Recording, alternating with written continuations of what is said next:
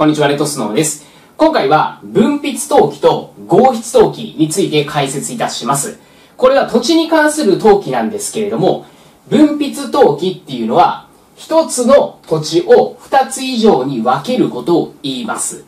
で、今一つって言ったんですけども、土地の数え方の単位っていうのは、一筆、二筆とか、一筆二筆というふうに筆とか筆とか、こういった言葉を使うんですね。なので、まあ、一筆の土地を二筆に分ける。一筆の土地を二筆に分けると。まあ、いった内容。これが分筆登記ですね。で、一方で合筆登記は、二筆以上の土地を一筆にまとめる。これが合筆登記になります。まあ、逆ということですね。で、まず、分筆登記からいきます。分筆登記の申請ができる人って誰かというと、この二人です。表題部所有者または所有権の登記名義人。まあ、どちらかです。表題部しか登記していないと。つまり、権利に関する登記をしていない場合は、表題部所有者。権利部まで登記をしているというのであれば、所有権の登記名義人。例えば保存登記をした人だったりとか、あとは所有権移転登記。つまり土地を買った人ですよね。まあそういった人とかが分泌登記を行えます。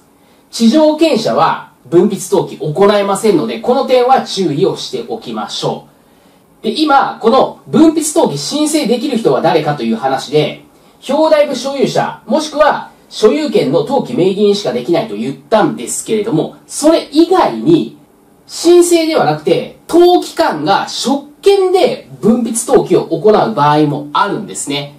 登記官っていうのは、法務局という国の機関で、登記に関する事務を行っている人です。まあ、公務員ですね。その方が自らの権限で分泌登記ができる場合があるんですね。それはどういった場合かっていうと、土地の一部が別の地目だった場合、もともとこの土地、地目山林でしたと。でもある時、この所有者が一部を田んぼにしていましたと。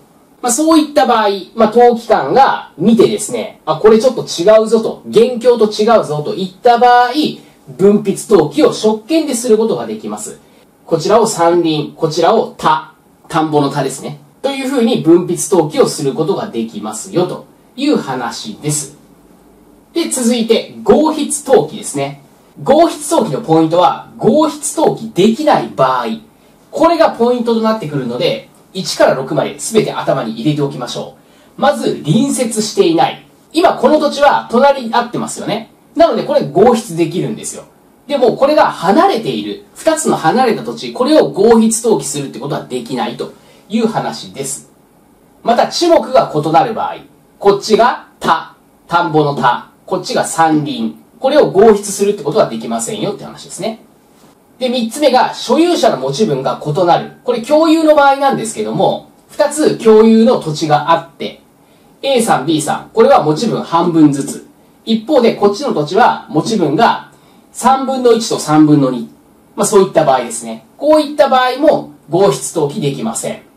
また、所有権の登記がある土地と所有権の登記がない土地。これも合筆登記できません。あと、所有者が異なる。この所有者っていうのはこの所有者一緒なんですけども、表題部所有者、または所有権の登記名義人を指します。